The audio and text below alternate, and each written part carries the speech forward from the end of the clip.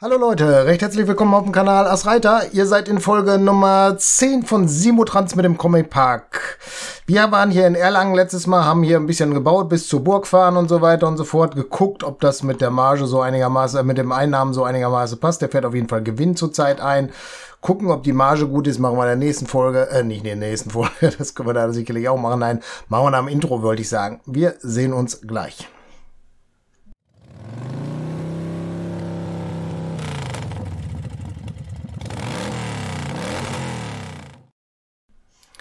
So, also er äh, macht hier 69 gerade. Hier stehen schon drei. Das ist schon mal gut. Wie will er es hier gewesen? Und da stehen auch schon drei. Das ist auch gut. Das heißt, eigentlich müsste das hier was werden. Ne? Wir hatten ja die anderen Sachen, glaube ich, noch geguckt, aber das war alles zu weit weg. Winnen hatte da jetzt keine Burg in der Nähe. Diese Kirche ist ein bisschen weit weg. Und wir müssen mal schauen, wieso sich das auf der Karte hier ergibt. Erlangen waren wir gerade, Lippstadt war auch geklärt, glaube ne? Da ist auch eine Kirche, aber das geht auch nicht. Schwandorf, das gleiche in Grün, funktioniert auch nicht. Willensdorf haben wir hier, da haben wir eine Burg, da müsste man einen längeren, weiteren Weg machen. Weil Brücke gab's ja noch nicht, oder wie war das, ne? Ja, so weit ist es auch nicht. Sollten wir es versuchen, aber das bedeutet wieder ein Dingens, ne? Ja, ist das, äh ein, äh, na, sag schon, wieder ein Depot, was wir kaufen müssen für teuer Geld.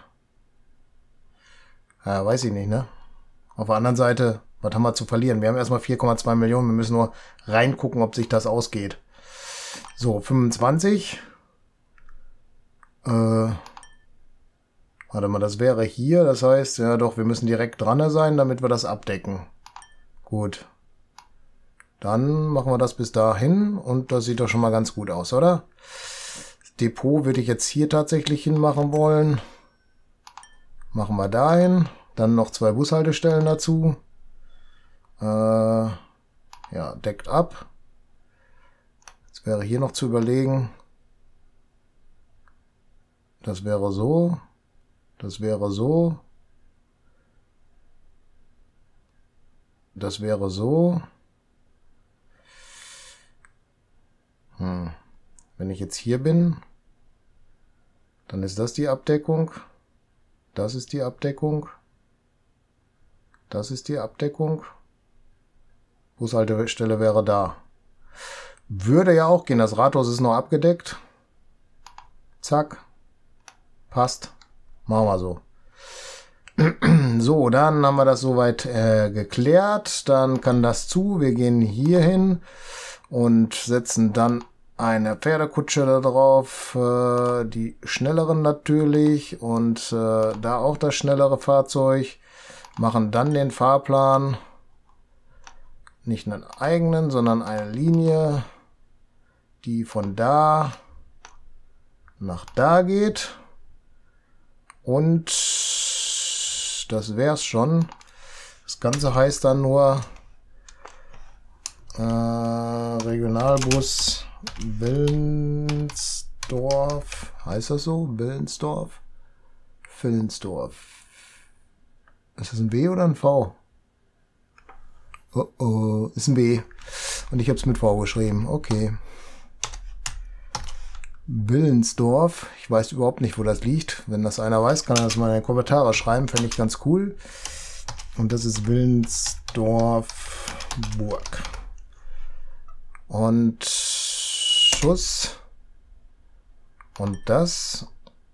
Äh, nix eigener Fahrplan. Also das ist das Depot, glaube oder? Ah, da.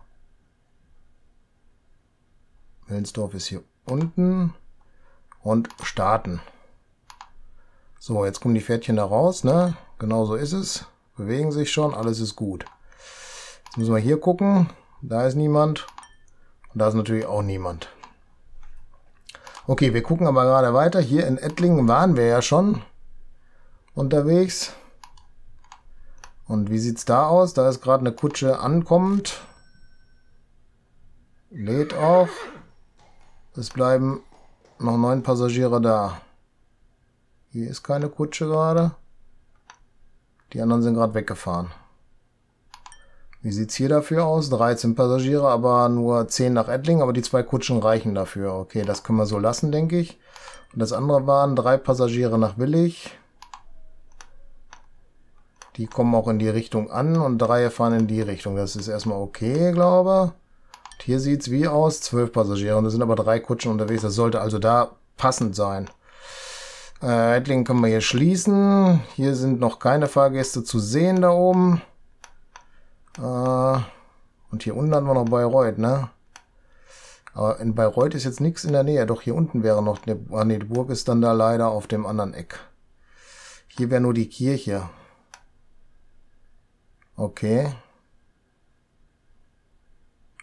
Ja, das ist jetzt eine gute Frage, ne? Willst du jetzt hier? Dann, Bayreuth wäre ja tatsächlich nicht ganz weit weg von Zwischenbrück. Äh, Zweibrücken. Nicht Zwischenbrück, Zweibrücken. Und hier müsste man ja auch dann schon dahin anschließen, ne? Weil das würde sich ja auch lohnen, ne? Oder? Und dann könnte man über die Kirche und mit einem Schifflein hier rüber. Und dann hätte man Bayreuth da angeschlossen, ne? Gibt's denn hier noch irgendwo was in der Richtung? Ne, da gibt's keine Kirche. Aber die haben ja nicht so viele Fahrgäste, ne? 29 ist das Aufkommen. Bei der Burg ist das, glaube ich, dreistellig, oder? Ja, 296. Das ist eine Hausnummer, ne? Hm. Weiß ich jetzt auch noch nicht. Lass uns mal nochmal in die Karte gucken hier unten, was die uns sonst noch so verrät. Ja, den Rest äh, Königsbrunnen sind angeschlossen. Friedrichsdorf war dann da noch, was aber keine Kirche in irgendeiner Form da hat. Nee.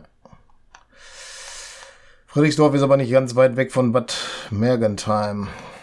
Hm, Weiß ich jetzt auch noch nicht. Hier schon Fahrgäste? Ne. Hier Fahrgäste? Ne. Aber ich glaube, der muss auch einmal da gewesen sein, ne? Aber ich glaube, der ist schon einmal da gewesen bei dem hier, ne? Oder? Ist der gleich nach da gefahren? Könnte natürlich auch sein, weiß ich jetzt nicht. Ist aber jetzt nicht schlimm. Der fährt erstmal. Lass mal gerade noch mal in Erlangen reingucken. Ist er mittlerweile angekommen? Ich glaube, er ist schon wieder hin und her gefahren. 102, okay. Da sind Einnahmen auf jeden Fall da. Hier waren sie gerade, da ist keiner. Und wie ist es auf der anderen Seite? Da ist auch keiner. Aber das wird schon werden, denke ich mal. Ich mache mir da keine Sorgen drum.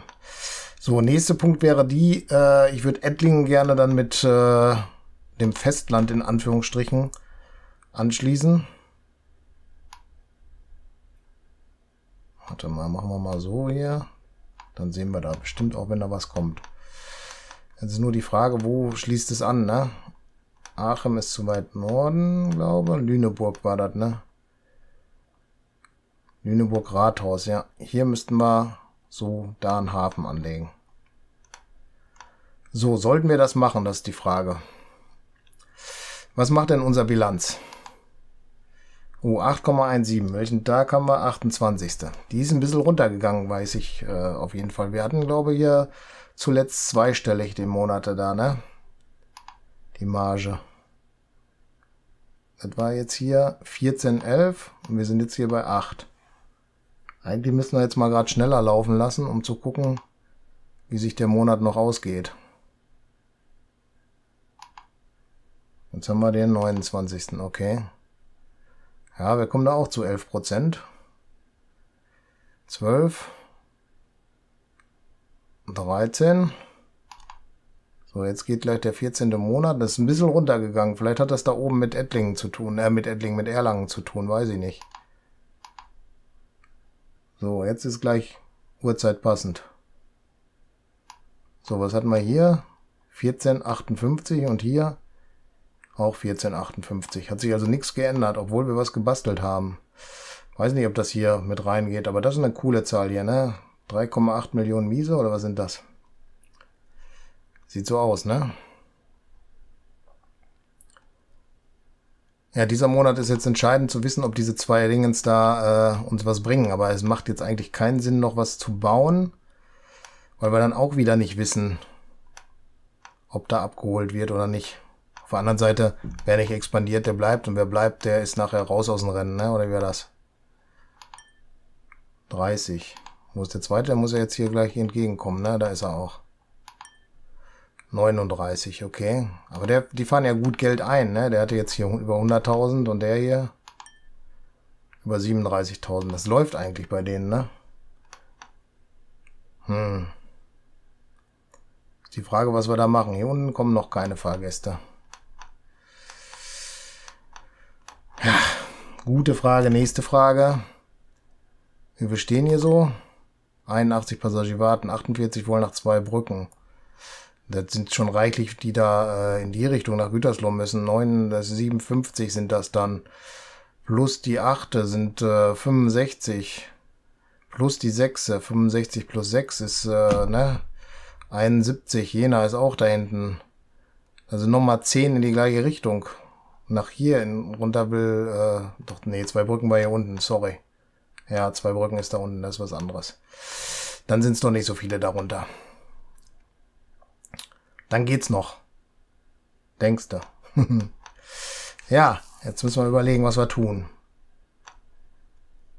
Wir können natürlich sagen, wir machen jetzt hier die Verbindung zur Burg. Von der Burg gehen wir rüber mit dem Schifflein hier auf die Kirche und von der Kirche gehen wir nach Bayreuth. Wäre das was?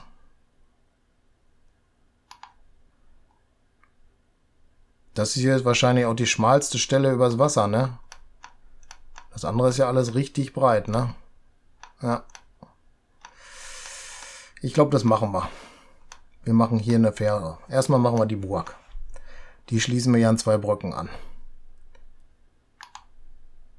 Äh, das. Von da nach da. Okay, er möchte unbedingt da hoch. Dann soll er das tun. Das sieht jetzt schon mal ganz gut aus, oder? Ja. Machen da eine Bushaltestelle hin. Ja. Und die ist ja schon, die brauchen wir nicht machen. Dann können wir da jetzt erstmal, äh, ja, lass uns das schon mal anschließen mit einem Stadtbus.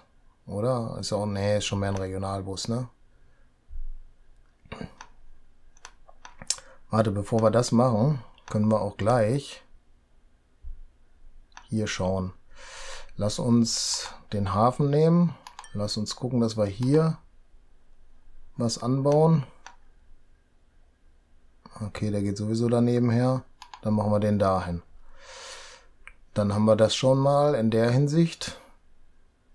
Jetzt gibt es ein Shift-Depot. Keine Ahnung, was da der Unterschied ist. Ich baue es aber einfach mal hier hin, weil ich es kann. da geht es nicht, ne? ne? Es muss im Wasser sein, okay.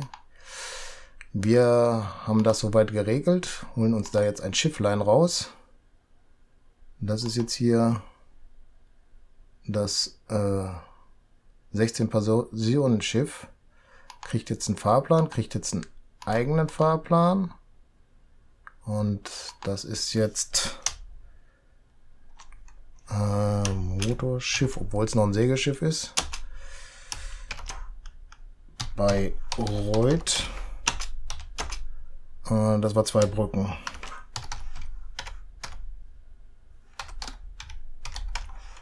So, zwei Brücken. Ein Schuss, das passt. Und dann... Ne, davor müssen wir den halt hinzugefügt und den halt hinzugefügt. Dann ist das fertig. Hier steht er wieder auf eigenen Fahrplan. Keine Ahnung warum. Aber er soll ja den nehmen. So, Schifflein fährt. Noch nicht, aber jetzt. So, das ist erstmal gut. Jetzt müssten wir schnellstens hier äh, diese Linie aufrechterhalten. Da schnell einen hin. Und da drüben machen wir das gleiche in grün. Okay, da muss eine Straße erstmal hin, ne? Die können wir erstmal so gerade ziehen. Und dann machen wir hier hin. Oh, besser wäre da gewesen, ne? Nein, machen wir so. Abdeckung ist so, Abdeckung ist so. Ja, passt. Und hier ist jetzt keine Kutsche sozusagen drauf. Machen wir so. Anschließen, passt. Depot muss jetzt da irgendwo hin. Achso, da müssen wir noch ein kleines Weg, äh, Gästchen abzweigen machen. Ich glaube, das ist schlecht, wenn wir das so machen. Warte mal, das wäre da. Ne, können wir hier hin machen. und setzen da das Depot schnell hin. Da die Haltestelle hin. Die haben wir da, ne? Ja. Dann sind wir da erstmal fertig, glaube ich. Können hier jetzt das Fahrzeug auswählen. Doppelgespann mit großer Kutsche. Machen dann den Fahrplan, wieder einen äh, eigenen Fahrplan. Versteht sowieso keiner, wie das hier funktioniert, hätte ich jetzt beinahe gesagt. Und das ist der Regionalbus bei Reuth.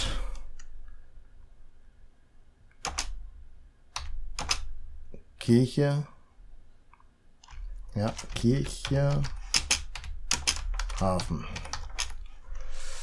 Schuss. Und dann fährt er von da nach da, nach da. Und dann wieder nach da. Und das passt dann.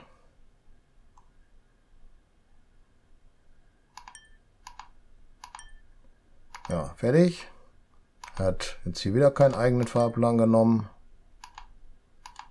Das du knicken. Ich weiß nicht, warum er da jetzt sich da nicht das auswählt, sondern ich das muss hier irgendwo machen. Und starten wir den. So, jetzt müssen wir gucken. Verlässt den Hafen, äh, das Depot. Und jetzt müssen wir auf der anderen Seite natürlich das gleiche noch machen. Mit einer weiteren Linie. Jetzt haben wir da oben natürlich das Depot irgendwo. Ne, das war es nicht. Das ist es. LKW, Zweier, Zweier, Fahrplan.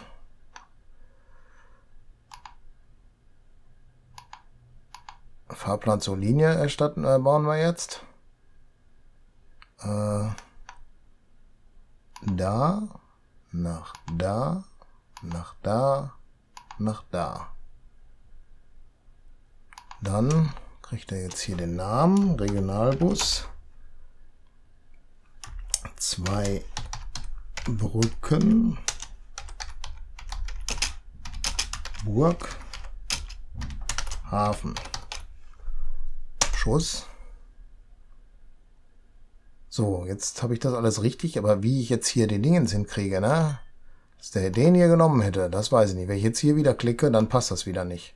Ich hätte hier wahrscheinlich erst hinzufügen müssen, dass das funktioniert, ne? Kann das sein? Wahrscheinlich. So, Bayreuth, Kirche, Hafen. Ist falsch. Wir brauchen zwei Brücken. Burg, Hafen.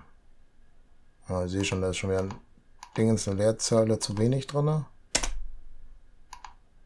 Ja, kann man so hier nicht wohl ändern. Jetzt ist der unterwegs.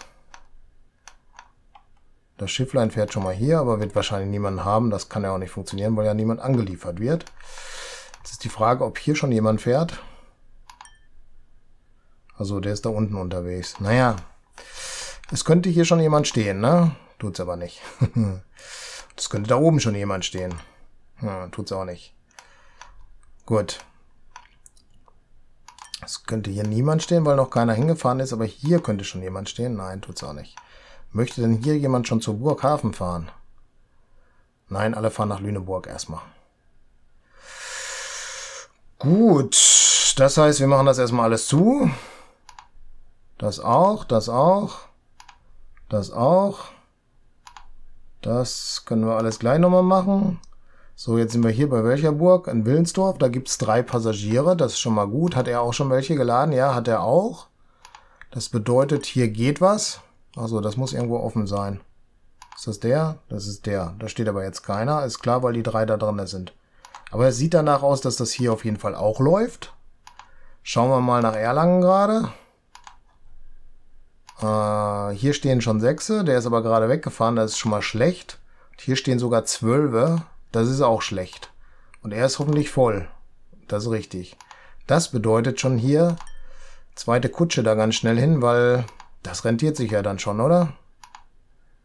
Fahrplan ist Erlangen, Erlangenburg. Und starten, weil irgendwie muss es sich ja rechnen und das tut sich nur,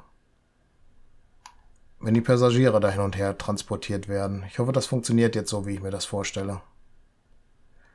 Äh, Erlangen-Rathaus ist das richtige Fahrziel. Passt, weil da stehen ja schon Sechse, die sind dann abgeholt und dann wollen wir hoffen, dass sich das auf Dauer ausgeht, weil hier stehen ja sogar schon zwölf, ne? Das heißt, das müsste eigentlich alles erstmal da schon mal gut klappen. So, das haben wir. Willensdorf hatten wir geguckt. Äh, wir stehen hier an der Haltestelle, drei, und an der Haltestelle schon mittlerweile, nein, da stehen noch keine. Also hier ist ein bisschen Mauer, liegt aber auch daran, dass er vielleicht so weit fahren muss, das weiß ich jetzt nicht. Dann haben wir hier unten die Bayreuth-Geschichte noch. Okay, der ist jetzt noch nicht angekommen, dann gehe ich auch von aus, dass da noch niemand stehen wird, genauso wie da. Oh, stopp, das war knapp daneben. Ah, da stehen doch schon drei. Passagiere über Bayreuth-Waldhafen. Ah, die wollen schon weiterfahren. Kann man das jetzt gerade sehen, wo die hinwollen? Nach zwei Brücken wollen die hin zur Burg und über Bayreuth-Waldhafen. Okay, das ist ja auch schon mal gut, wenn die schon alleine nur zur Burg wollen, ne? Das ist schon mal gut. Schiffchen, da wird nichts drin sein. Das geht nämlich nicht, weil äh, die Kutsche für hier ja noch gar nicht da ist. Ist hier denn schon mal ein Fahrgast, der jetzt zur Burg will? Nein, noch nicht. Das liegt ein bisschen daran, dass das ja auch noch nicht funktioniert. Aber hier gibt's drei, die nach Bayreuth wollen. Das heißt, das funktioniert schon mal. Okay, das wird angenommen. Das heißt, die Ferngeschichte hier wird dann auf Dauer auch klappen, denke ich mal. Gut, dann haben wir das erstmal. Ich würde sagen, wir machen hier wieder einen Cut. Ich bedanke mich recht herzlich fürs Zuschauen. Würde mich freuen, wenn ihr das nächste Mal auch wieder mit dabei seid. Falls ihr noch kein Abo macht eins. Falls euch die Folge gefallen hat, gebt einen Daumen hoch. Macht euch die Glocke an, kriegt damit, wenn ich das nächste Video hochlade. Gerne Kommentare schreiben und auch gerne das Video auf anderen Kanälen teilen. Wir sehen uns in der nächsten Folge. Bis dann. Ciao.